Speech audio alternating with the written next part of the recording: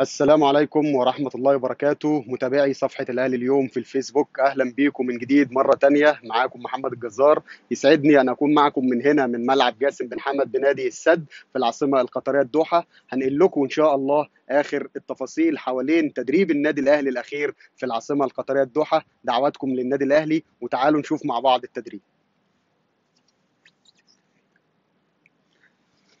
طبعا آه، بحييكم وبمسي عليكم من هنا من استاد جاسم بن حمد في في العاصمة القطرية الدوحة وقدامنا على الهواء مباشرة التدريب الأخير للنادي الأهلي.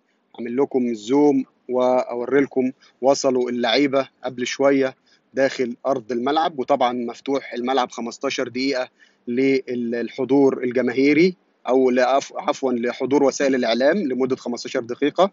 طبعا أوريكم من المباشر المدرجات والملعب والتجهيزات الأخيرة.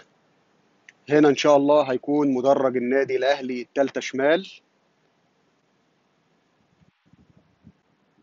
طبعا حضور إعلامي إن شاء الله العشرة وبإذن الله السبعة بكرة كمان كل محبين النادي الأهلي. آه التالتة شمال التالتة شمال هناك عفوا مش هنا دي دي التالتة يمين. شكرا آه، صديقنا العزيز مسلم أهلاوي مع الهلاوي. تضامن مع الأهلي. أهلاوي؟ نعم أهلاوي. أكيد؟ الأهلي حديد. آه، صديقنا العزيز مسلم الهلابي جبال الله عليك المسؤول فريق كبير فريق عظيم. أدي له عمري وبرضه؟ والله برضو أليف. حضرتها في مباراة السوبر مباراة الكلاسيكو مع الزمالك آه، 2011 كانت تعادل 2 2 مم. في استاد القاهرة. بس أنت أهلاوي ولا زملكاوي بصراحة؟ لا لا أنا أهلاوي. من إمتى؟ آه، من الحين من التقيت لا مع لا أرسنال. من 2004 من 2004 نعم. إيش معنى 2004 يعني؟ حبيبي آه، صديقنا اولا خلينا نعرف الناس دي ده مشجعين أو صفحة جماهير النادي الأهلي في مصر الأهلي. اليوم صديقنا العزيز مسلم الهلابي المسؤول الإعلامي لنادي قطر القطري وعضو اللجنة المحلية المنظمة. بنرحب بيك أبو حمد واهلا بيك وسط جمهور النادي الأهلي. وبنسعد جدا إن أنت تعلن أهلاويتك عبر هذا البث المباشر. أنا جدا سعيد صراحة إن فريق عظيم فريق فخر للعرب فخر للكرة الأفريقية. أيضا يكون موجود في قطر بمشاركه مباراة آه، الكلا- أو نقول عنها السوبر ال- الأفريقي اللي مع فريق آه، شقيق له اللي هو البركان المغربي.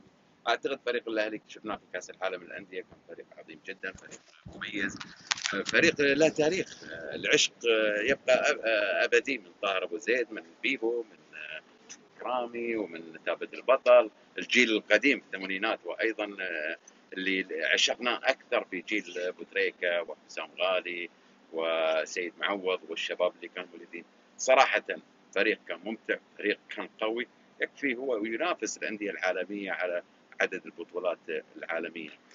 توقعاتك لنتيجة المباراة؟ أنا أتوقع 3-1 للأهلي لكن الحذاري إن الأهلي في الفترة الأخيرة شوية مستواه كان مش ولا بد. في بعض المباريات. شفناه قد يكون الإرهاق الكبير قد تكون حالات الإصابات العديدة اللي في الفريق اللي كانت موجودة لكن أعتقد إن الأهلي يلعب بتاريخه يلعب باسمه. قبل أن يلعب بمستواه ويفوز باسمه. سعدنا جدا بوجودك معانا. الصديق العزيز مسلم الهلابي عضو اللجنة المنظمة ومنسق الإعلامي لنادي قطر القطري. بنسعد دايما بيك وشكرا جدا ليك أشكرك يا محمد جزار وإن شاء الله بالتوفيق لك وللأهلاوية. شكرا.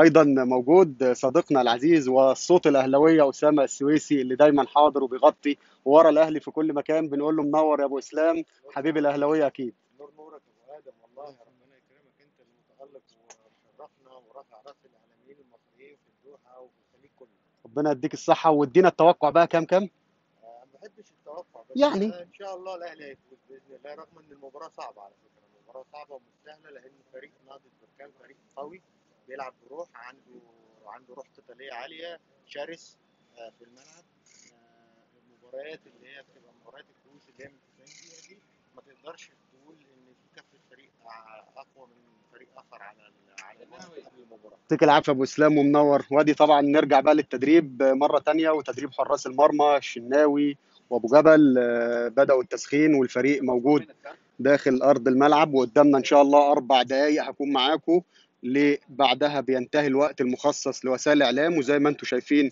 قدامنا على الشاشة التدريب النادي الأهلي. كل الأمنيات بالتوفيق. طبعا ده المكان اللي مسموح لنا نكون موجودين فيه بسبب الإجراءات ال- الاحترازية وظروف كورونا. شاء الله بإذن الله كل الامنيات بالتوفيق ونطلع معاكم لايف بكرة آه، هنا في الصفحة ونقول مبروك للنادي الأهلي. طبعا الملعب زي ما أنتم شايفين فعلا ملعب صغير ما فيهوش تراك ألعاب القوى المدرجات منها لأرض الملعب على طول. وساعته زي ما أنتم شايفين هديلكم صورة وإطلالة. ده شكل الملعب من ال- الخارج. موجودين زملائنا هنا في البين سبورتس أيضا بيغطوا التدريبات وزميلنا الصحفي الأهلاوي الأستاذ حسام نبوي اللي بنرحب بيه أيضا. كم كم يا حسام؟ إن شاء الله 3-0 للاهلي بكره ان شاء الله ربنا يسمع منك ومتألق دايما حسام. وأيضا نرحب بصديقنا الإعلامي أستاذ رجائي فتحي اللي بنقول له منور وتوقعاتك للنتيجة أستاذ رجائي. إن شاء الله الاهلي يكسب 3-0 إن شاء الله. كله متوقع 3-0 يا مسهل الحال يا رب. ربنا يكرم. ربنا يكرم إن شاء الله ويوفق النادي الأهلي.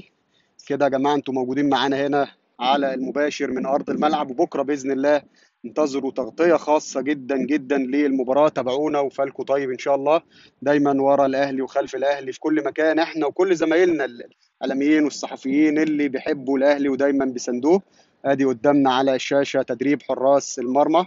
يمكن قبل شوية في المؤتمر الصحفي محمد الشناوي اتكلم وأكد على أهمية المباراة وصعوبتها ويمكن سألناه عن مثله الأعلى محليا قال عصام الحضري وعالميا قال مانويل نوير. بنتمنى كل التوفيق لعلي لطفي ومحمد الشناوي وكل نجومنا في النادي الأهلي بإذن الله. أنا قلت أبو جبل؟ أنا بقول علي لطفي. علي لطفي. آه معلش معلش بالغلط والله. تحياتنا طبعا لا لا أنا أقصد علي لطفي يا جماعة. خلاص زلة لسان آسف والله. لا الشناوي ما بقولش يضغط إلا يوم المباراة أكيد على أيمن أشرف. ده طبعا لسه كله تسخين كده وتجهيز. مش هيبدأ طبعا موسيماني التدريب آه، إلا بعد خروج وسائل الإعلام عشان ينفذ التكتيك ويشوف ال- الأمور هتبقى ماشية إزاي إن شاء الله. كل الأمنيات بالتوفيق للنادي الأهلي. أنا إن شاء الله سريعا هكون معاكم للرد على أي استفسار لو حد عايز يسأل على حاجة قبل ما نقفل البث ونخلص لأن خلاص الوقت قارب على الانتهاء. إن شاء الله بنقول لزميلنا المصور محمود الحفناوي في انتظار صور خاصة لصفحة الأهلي اليوم يا محمود. هتوعدنا صور التدريب؟ عايزين حاجات حلوة. زميلنا الصحفي محمود الحفناوي صحفي جريدة الوطن القطرية واليوم السابع والكرة والملاعب بنرحب بيه. إن شاء الله بإذن الله ننزل لكم الصور بعد شوية على صفحة الأهلي اليوم صفحتكم. نسعد دايما بمتابعتكم وبسعد جدا إني أكون معاكم دايما ورب دايما الأهلي خلف الأهلي في كل مكان نسانده وندعمه. بشكر كل زمايلنا اللي موجودة أسامة السويسي ورجائي وحسام نبوي اللي الحقيقة موجودين معانا وبيغطوا وبيتابعوا كل أخبار النادي الأهلي كل صغيرة وكبيرة لمساندة الفريق ودعمه إن شاء الله. إن شاء الله بإذن الله بكرة توقعات أنا شخصيا 2-0 للنادي الأهلي بإذن الله وسجلوا كده إن شاء الله. عبد الله راضي حبيبي عبد الله تحياتي ليكم والله العظيم ووحشنا جدا وإن شاء الله بكرة تشوفوا آه، النادي الأهلي وتستمتعوا بيه في مباراة كبيرة. علي معلول جاهز إن شاء الله وكل اللعيبة جاهزة زي ما أنتم شايفين قدامكم على الشاشة في التدريب. مفيش أي غيابات مفيش أي إصابات الحمد لله. الصفوف مكتملة. إن شاء الله بإذن الله. أنا دايما أقول يا جماعة اللي يلعب خير وبركة و11 راجل في الملعب إن شاء الله. للأسف بالتأكيد المباراة ليست منقولة على القناة المفتوحة حتى الآن. لو عرفت أي معلومة جديدة تأكدوا إن شاء الله أنا هنشرها وأقولها على طول فورا. لكن المؤكد بالنسبة لي حتى الآن إن الكاف رافض والمباراة هتكون على قناة آه، beIN Sports المشفرة آه، premium 1 وده هيكون فيها الاستوديو التحليلي. وأيضا على قناة beIN Sports HD 4 دي هتكون من غير الاستوديو. كل الدعم لمعلول وكل الدعم للعيبة النادي الأهلي إن شاء الله بالتوفيق بإذن الله. ده كان آه، الإطلالة معاكم في هذا البث المباشر. بشكركم جدا على المتابعة وبشكر آه، صديقي العزيز جاسم آه، العزيز مسلم الهلنابي على تعاونه الدا- الدائم معانا. وإن شاء الله نشوفكم على خير. تحياتي. شوف شنطتي بس. ادينا بقى كده نختم بعد إذنك. آه شكرا ليكم. شكرا ليكم. سعدت جدا بمتابعتكم وإن شاء الله انتظرونا في بث بكرة. بث خاص هيكون مع الجمهور من المترو وبث إن شاء الله من هنا من الاستاد. خالص تحياتي ليكم كان معكم محمد الجزار. السلام عليكم ورحمة الله وبركاته. 2-0 للنادي الأهلي إن شاء الله. شكرا يا أبو حمد. شكرا.